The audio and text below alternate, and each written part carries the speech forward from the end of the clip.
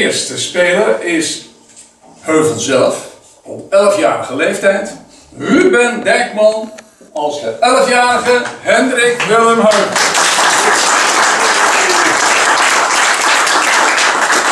Verder hebben we Eline Oldvoort als zijn wat oudere buurmeisje Dientje. En dan is er nog een derde speelster, die heeft zelfs een dubbelrol. Manon Brouw, zij speelt de meid Geertje van de boerderij Blauwhand waar Heuvel geboren is. En zij speelt ook nog eens de rol van de oudere zus Anneke van Dientje.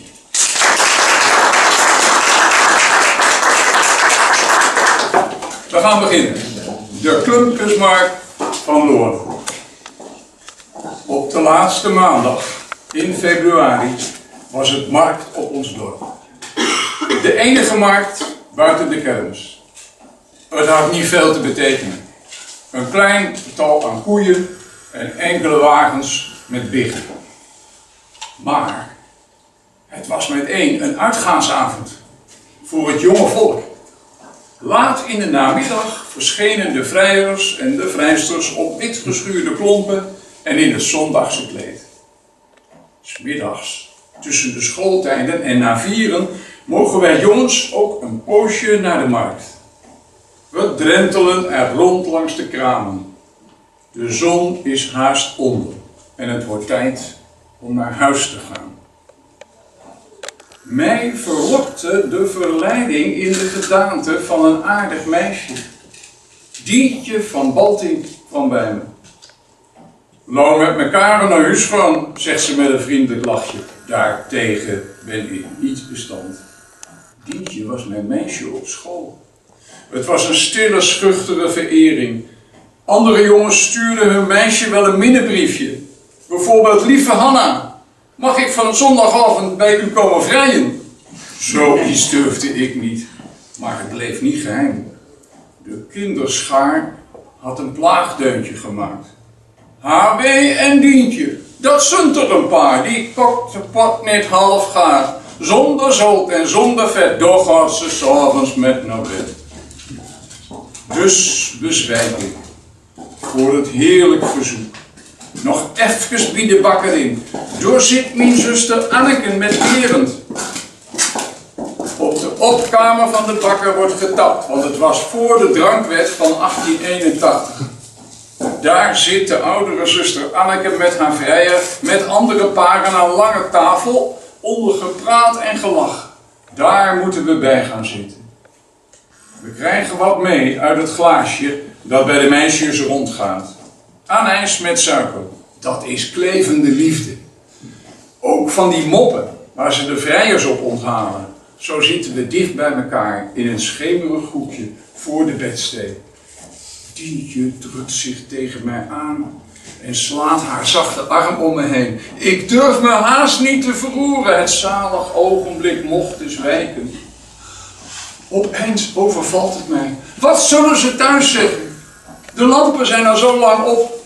We verlaten het vrolijke gezelschap en buiten, zegt Dientje dan zacht. Nu moet je nog een kurksken geven. Ze weet dat dat vrijersplicht is. Ze is wat ouder en het spreekwoord zegt de boekwijte is eerder riepen als de. Och arme, ik heb geen centen meer.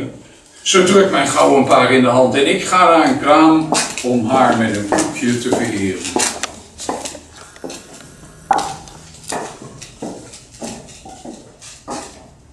We stappen nu vlug huiswaarts.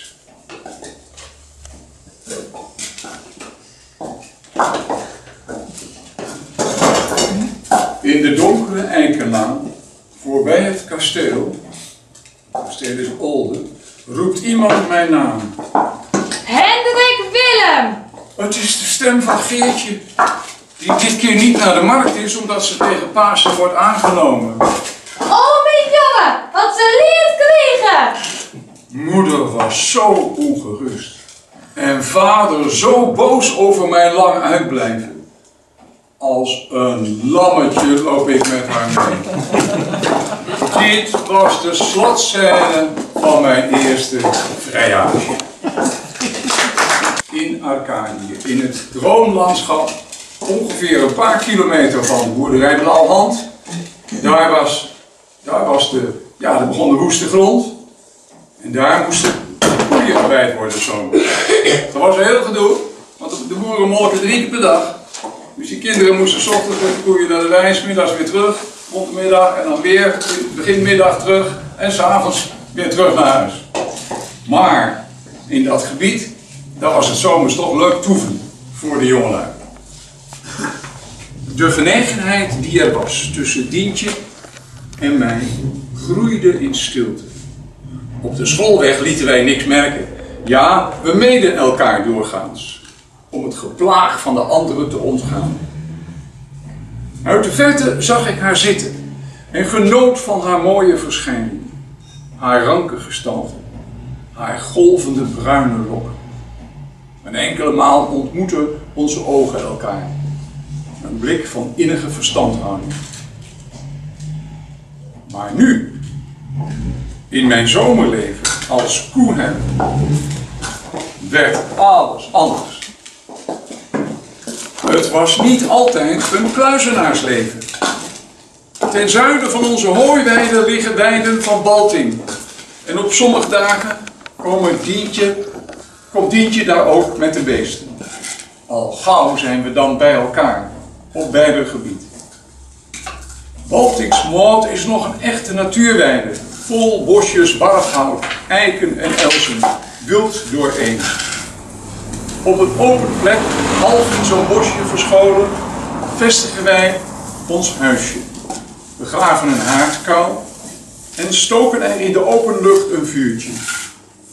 Een stronk aardappels roven we van een naburig kampje. En Dientje brengt Sint-Jopik-appels mee. Weldra vlamt het haardvuur hoog op en wij braden onze buit in de as. Zo spelen we hier huisje, dag aan dag. We liggen lang in het mollige gras. En turen naar de mooie wolken die langs de hoge blauwe lucht zeilen. En we verlustigen ons in hun gedaanteverwisselingen. Na een poosje buitelen en rollen wij door het gras. Zo komt het vroezelen, het worstelen, om elkaar onder te krijgen. Dientje is sterk. Zo houdt mijn pols omklemd en weldra liggen wij hijgend, borst aan warme dagen lokt het water ons tot een bad. Het meisje, met de rokjes hoog opgetild, moet iets meeproeven van de weelde. En als wij straks in Adams kostuum door de weide rennen om te drogen, heeft zij pret. Op koude, regenachtige dagen is het niet minder mooi. In een droge sloot hebben we een hutje takken en zoden gebouwd. Daar stoken wij ons vuurtje en we kruipen eromheen, heerlijk dicht bij elkaar. Al te snel vliegen de uren voorbij. Als je eigen schimmen op de kop kan trainen, is het middag, zegt Dientje. Maar wij moeten met de, beus, met de beesten naar huis. Soms is er wel eens een koe uit de weide gekropen door een droge sloot, waar de omheining niet sterk genoeg was. Dan moeten we avonturen op vreemd gebied. Wat was Jan Willem oom boos toen er twee in zijn aardappelakker waren geweest? Dat kwam van het huisje spelen.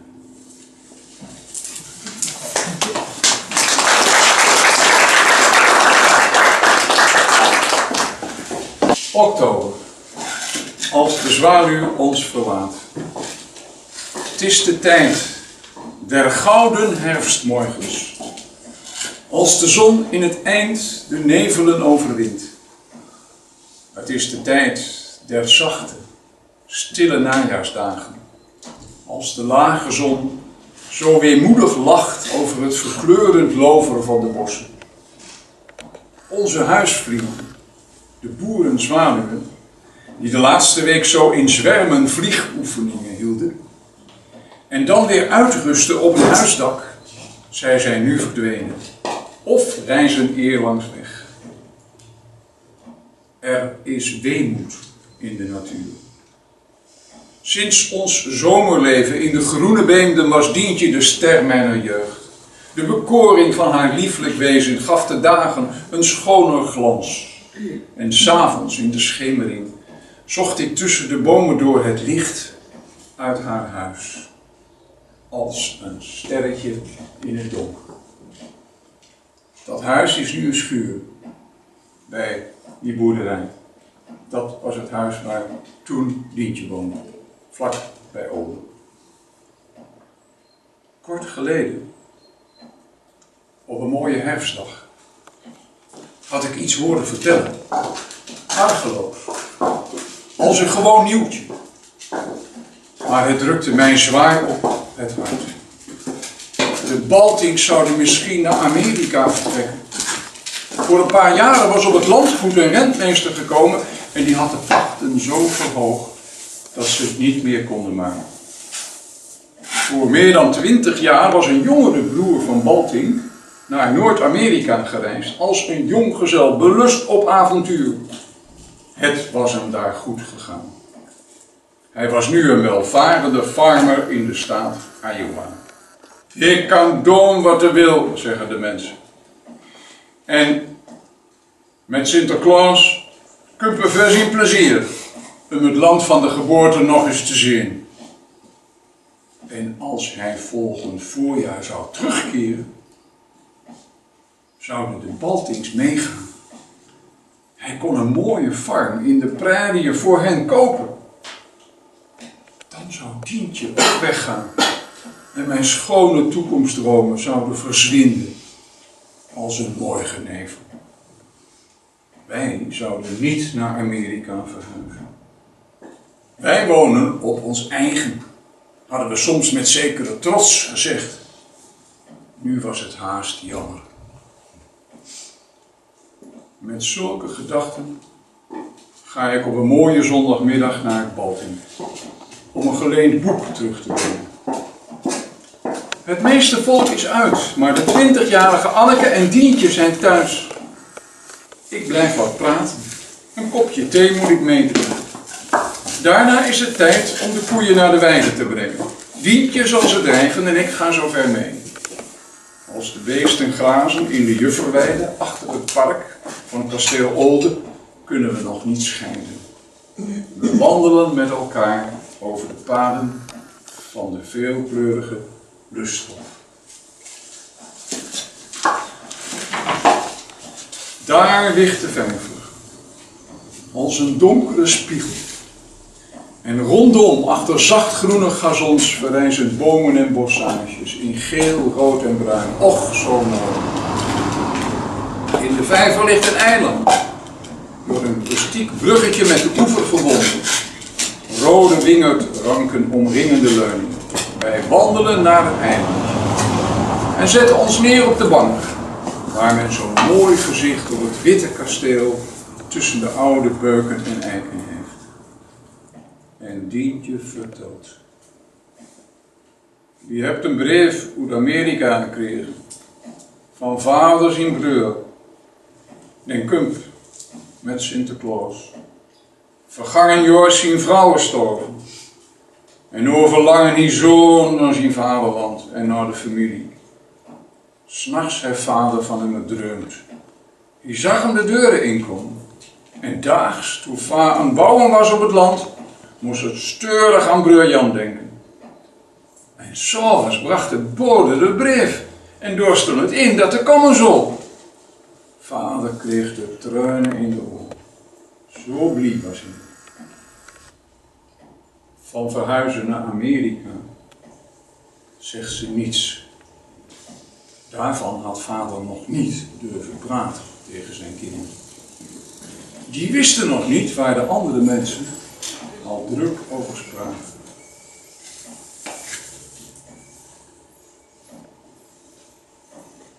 Ze schuift al dichter tegen mij aan. En opeens legt zij de arm om mij heen. Toch toe. Zing nog eens, fluister ik. En ze begint. Als de zwaluw ons verlaat en de bloemen schoon vergaat.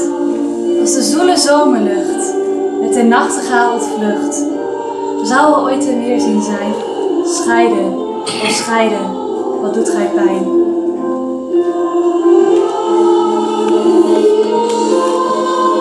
Die vraag en die klacht ontroeren mij. Ik zie de lege zwaluwnesten in het onderschoen. Ik zie het lege huis van Balting. Als we opstaan om naar huis te gaan, geeft ze mij een kus. De laatste. Het volgend voorjaar zijn ze vertrokken. Naar het verre land van overzee. Als een bladzijde uit een oud boek. Een verhaal van vroeger. Op dat paradijsachtige eiland. Zo leidt mij nu die stille najaarsdag. Uit lang vervlogen kindertijd.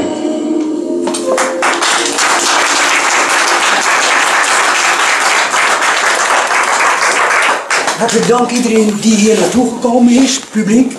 Hartelijk dank de spelers, de verteller, Daan Unk, de regisseur. En nu nog een toegift, een onthulling. Kleine onthulling. Op deze foto zie je de persoon in kwestie waarop Heuvel verliefd was. Het meisje heette niet Dientje, het was de jongere zus Mientje. Hij heeft dat veranderd later. Hij heeft later gekozen voor de oudere zus, maar die was vier, vijf jaar ouder. Die kan niet met hem als koeherder gediend hebben. Het moet deze vrouw geweest zijn. Ze is later getrouwd met deze man, Hendrik Meuleman, en is gaan wonen op Nieland in Verwolen. Een prachtige foto van Gerda Stokreef, de waakman. En Dientje, de oudere zus, die ligt begraven op het kerkhof van Lade. De familie is helemaal nooit naar Amerika gega- gegaan. Heuvel heeft zijn prachtige jeugdherinneringen en zijn verliefdheid heeft hij ja, willen afronden aan het eind. Hij is later met een eh, verder achterdicht getrouwd, die, waarvan de vader toen al hoofd van de school was. En met die achternicht heeft hij zich hier gevestigd. Hij is getrouwd toen hij in, eh in Geldselaar woonde, als ik het even uit mijn hoofd zeg. En is toen als hoofd van de school hier begonnen. Is eerst hoofd geworden en toen heeft hij die vrouw ten huwelijk gevraagd. En die jeugdherinnering die bleef bestaan. En hij dacht, die jeugdverrajage, die moet ik op een of andere manier af laten lopen. Die moet ik een verhaal uitschrijven. En zo heeft hij dat dus met dat vertrek naar Amerika, waar veel, veel over ge- gepraat werd in die tijd. Zo heeft hij dat tot een, tot een geheel gemaakt. Nou, Dank u wel. Het had, had eh, Heuvel een eeuw geleden hier in Galselaar niet gedacht dat we dat hier onthulden.